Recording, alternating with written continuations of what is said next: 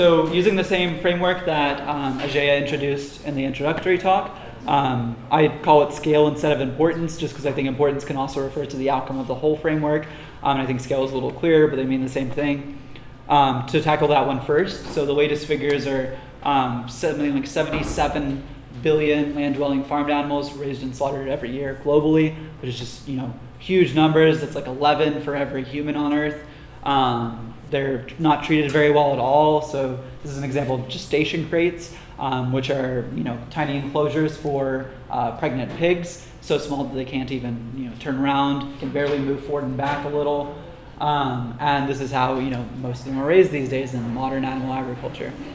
So it's quite an unfortunate situation. I won't go into too many details on, on all the issues because um, I expect most of you are familiar with that, and it's, it's sad to rehash those.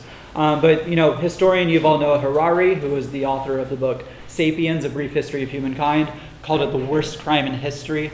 Um, you know, even compared to all the things that humans have done to other people.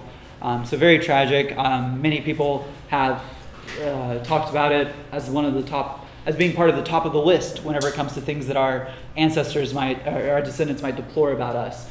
Um, so, you know, it's something that we recognize, a lot of us recognize as a huge issue, but it's not exactly clear how do we solve it um, as a society. Um, more compelling to some people is the, the fate of um, future animals. So, you know, if this sort of treatment continues um, in the long term, you know, as countries like you know India and China are developing. They have rapidly increasing animal product consumption right now. They're adopting you know our our, our American diets, unfortunately. Um, and if that continues, and especially you know as humanity grows even beyond that, if we continue abusing animals, it could be even larger than it is now, which is very unfortunate. Um, people also consider the welfare of wild animals to be quite important. So just as you know the number of farmed animals, we, we talk about that one because it dwarfs the number of other animals um, used by humans. The number of wild animals dwarfs that number even. Um, so it's not as clear what we can do about wild animal suffering, um, but it is clear that it's, it's an important issue that we should think about.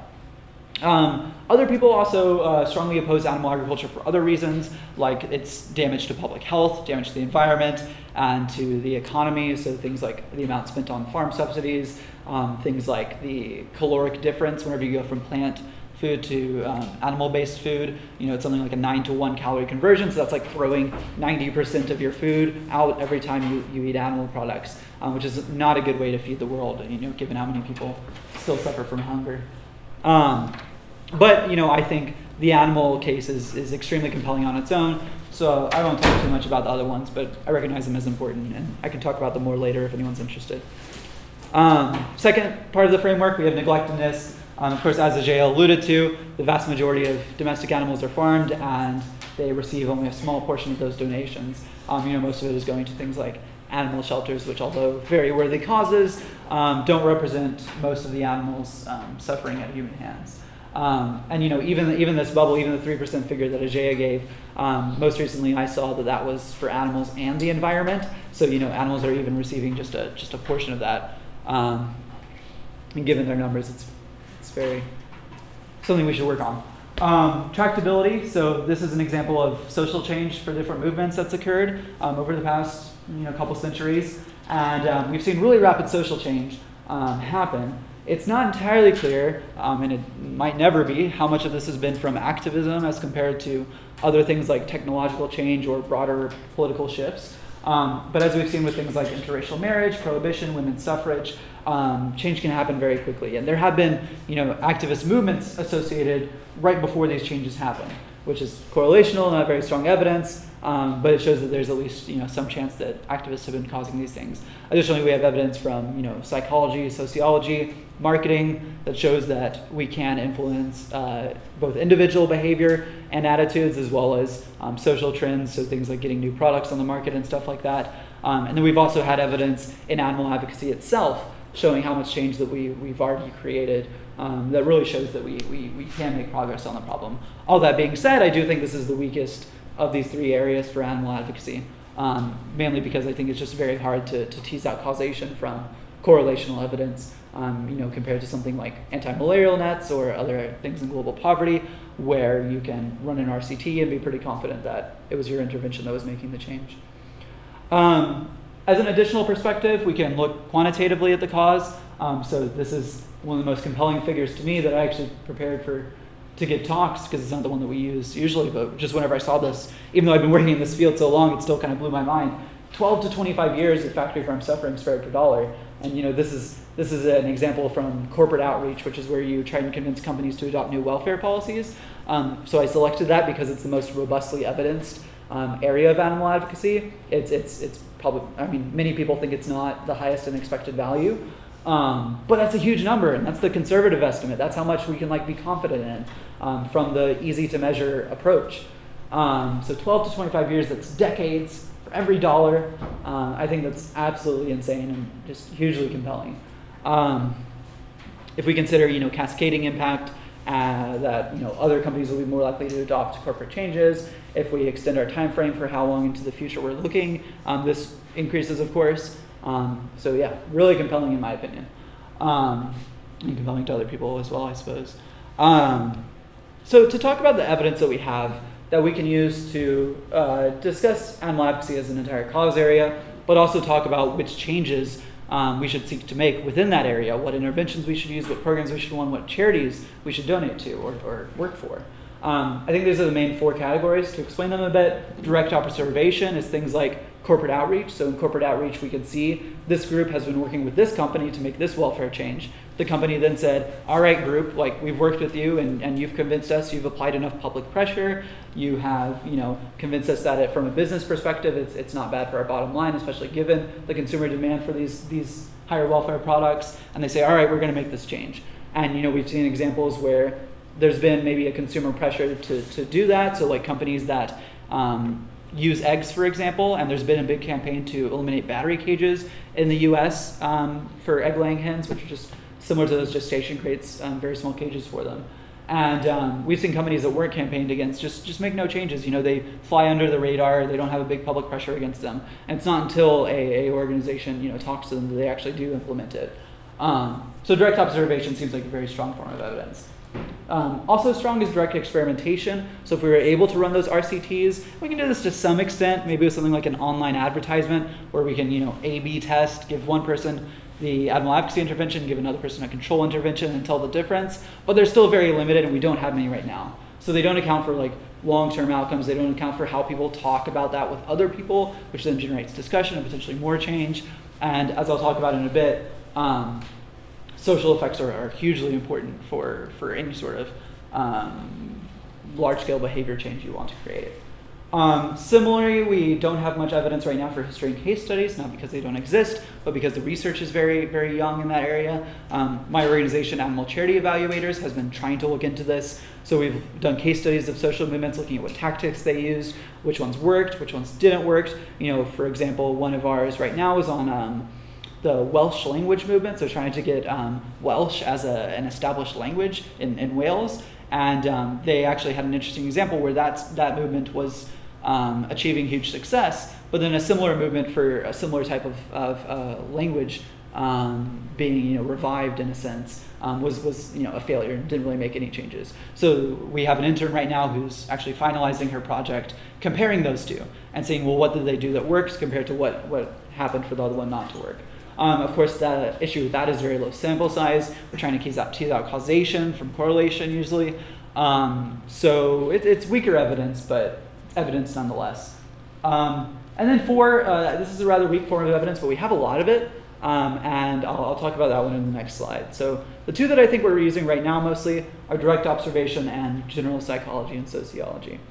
Um, so an example of that fourth one is this experiment, which was done unrelated to animals, um, but about hotel towels. Um, so it's a kind of famous one about um, an interesting quirk in, in human behavior. Um, they gave people two messages to try and get them to reuse their towels in the hotel. Um, this helps the environment. You have to use less time washing it. it. helps the hotel because they have to have less labor, have less you know energy spending, all those sorts of things. Um, and they gave people a message about environmentalism, which is just it has a huge environmental impact. And then they gave one about um, lots of other people are doing it. you know, some high percentage, I think it was in the 70s, um, of people are reusing their towels. And from a like logical perspective, it should be just oh, environmental is um, compelling. You know, that's the reason we should be making these changes. But as many of you would guess, um, it was much more impactful to use the social message compared to the environmental one.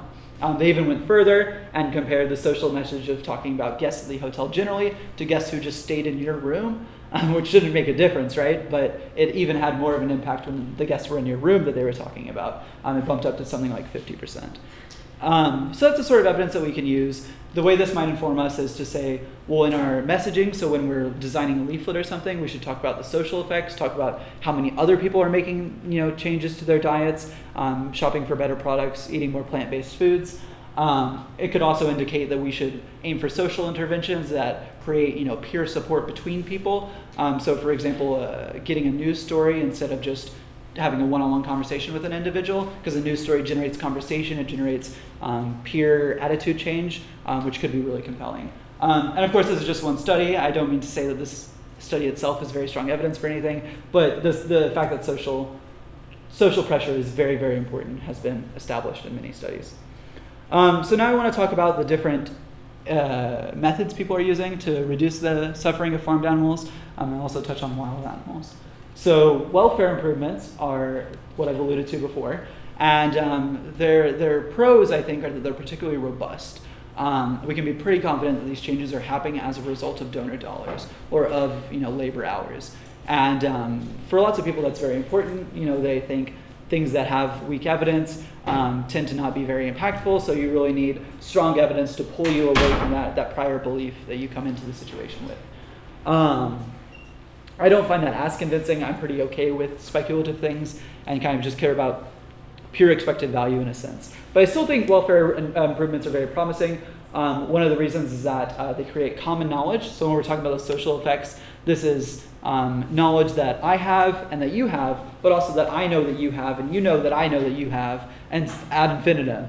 Um, and this is something that can uh, engender conversation it can get people feeling that peer pressure um, that makes them change their attitudes and behaviors. Um, and these create animal friendly precedents in society. So they establish our society as one that's making substantive, concrete changes for um, these animals, which then establishes them as like people who are in our political, cir- moral circles, people that we care about, people that are relevant to policymaking, which can then lead to further change down the road. So, like the adoption of more plant based foods um, which reduces a lot of suffering because even if you have these welfare improvements, you know, this is a cage-free facility. So if you hear about these cage-free reforms, they're going from battery cages, which are which are horrible, horrible places, to a situation like this where they're in a, a cage of you know other animals' flesh. And we, we, we, the research seems to indicate that this is an improvement for welfare, um, but it's, it's, it's not much, of course, in the scope of things.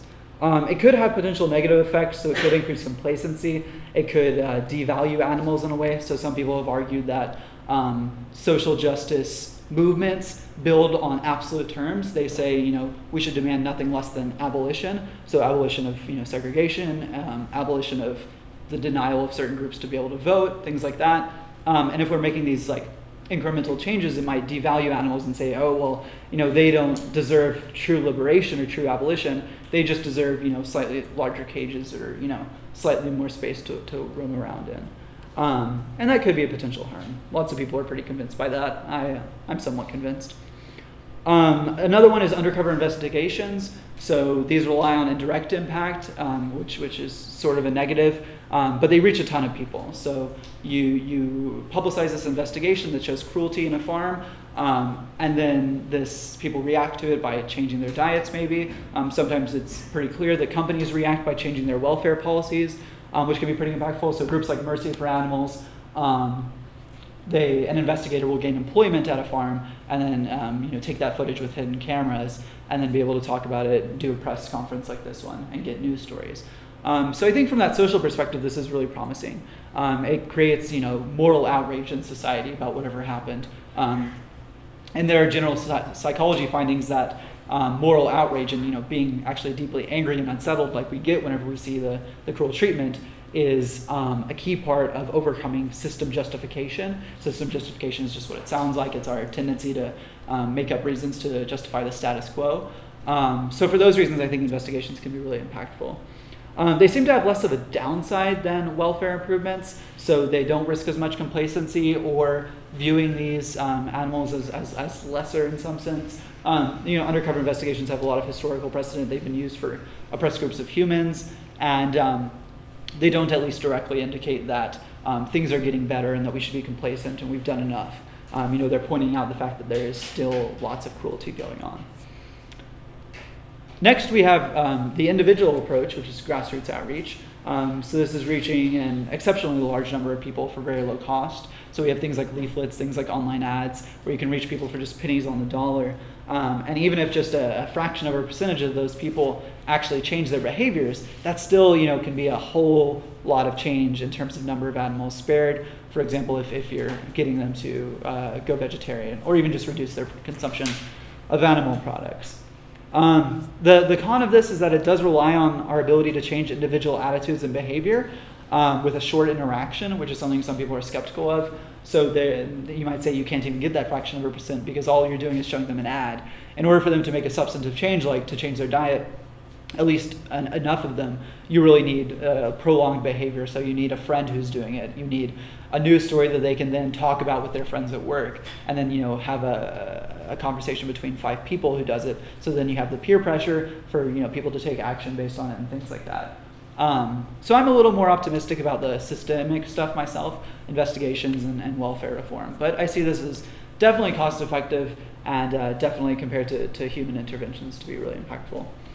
Um, next, we have an interesting one, um, which is animal free foods. Um, this is something that's been getting a ton of press lately. Um, so this is a meatball, of course, but it's not just any meatball. Um, it's the world's first cultured one that came out earlier this year. Um, so this is um, real cow cells, but um, no cow had to be killed from, for this. Um, so you can make these with, with just a biopsy of a living animal and take those cells and then uh, proliferate them in, in, in a you know, facility similar to a laboratory, similar to the way certain things are done in medicine, the way they're you know, growing these tissues and um, this can create the same taste and texture. I mean, it's the exact, physically identical. Um, so this has been called like excuse-free um, animal product alternatives because even if you want, like, even if you think that the, the vegan options, the plant-based options, are um, the same in taste and texture, you can still have excuses. You can still say, well, the origin, like, you know, it, it, it's it's not the exact same molecules. It's um, you know, not cells and uh, animal cells, it's plant cells and things like that. But this takes away all the excuses. If you're going to want to, you know, not eat cultured meat, then you essentially have to have some sort of justification. Like I, I just, you know, like, you know, the the past of what happened, or like, you know, I just like animal cruelty, um, which is of course something nobody's going to say. Um, so in that way, it could be really impactful. It could be a game changer.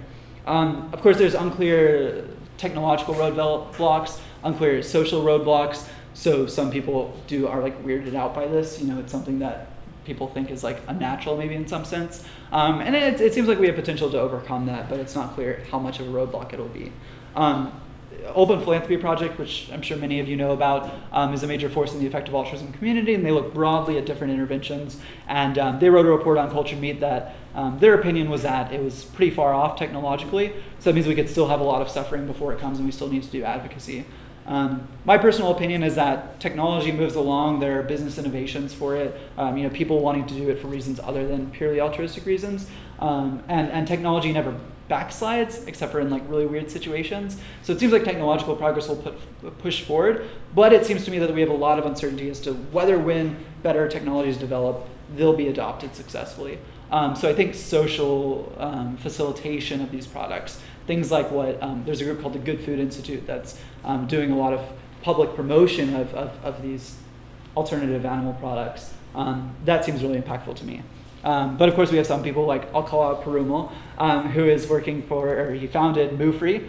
They're doing cultured milk, which is probably technologically easier than creating actual animal tissues, and you know that could alleviate a ton of suffering by having this um, you know, analog that is indistinguishable from the, the animal products themselves.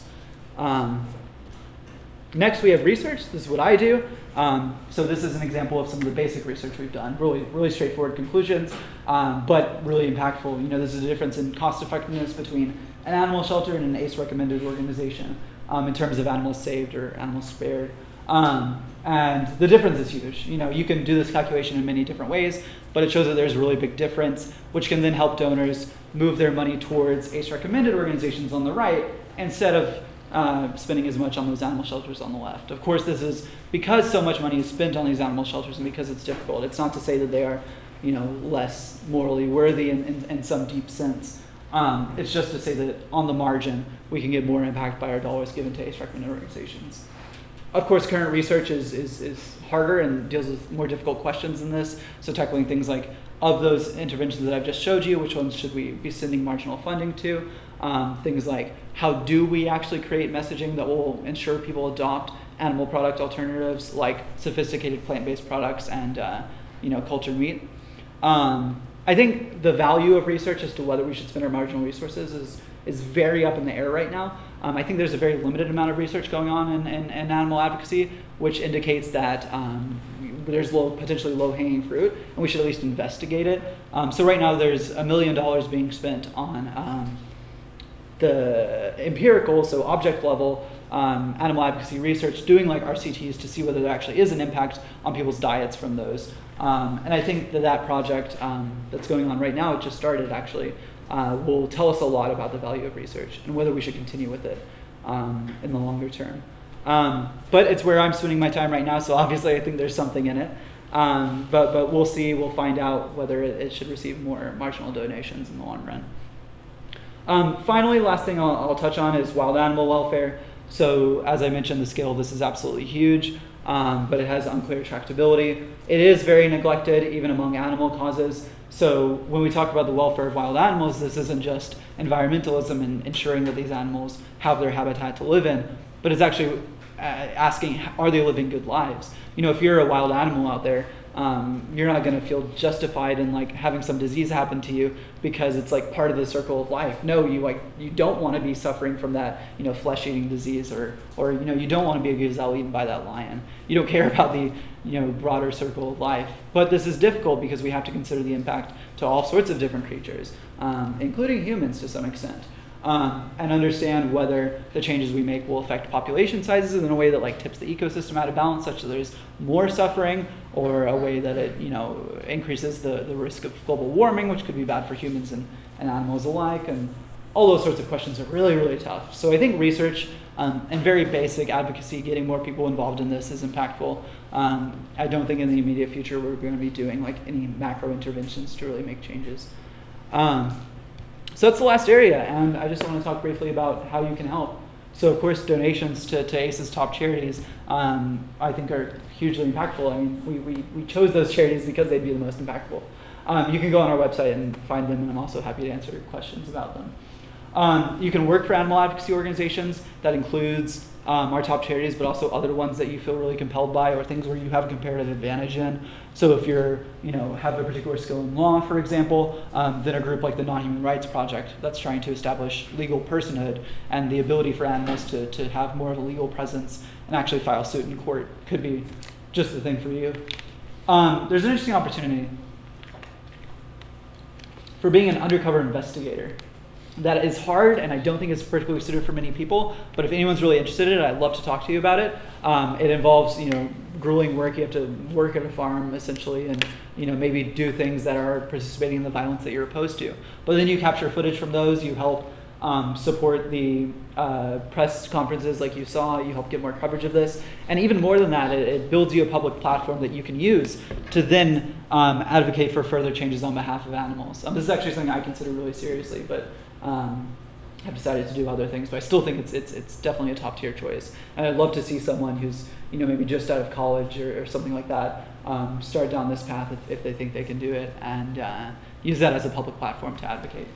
Um, you can also join me in research. So um, this is interesting because you can do it on a very short-term basis, and it can be really impactful. So even just like blog posts that people can do about a particular social movement, maybe one that you've been involved in or one that you just have a particular interest in, can be really informative to then you know sweep into our um, big bucket of evidence and uh, be able to make more macro decisions. Excuse me. So like um, I told you about the, the language one that's going on right now. And although that's being done by an ACE intern, I think you can do those outside of ACE, or you could, you know, be an ACE intern and do those. Um, and then the most important one I think is, is, is, volunteering and not in a professional capacity, but just spreading the word. Um, be a conduit. I think this is hugely impactful.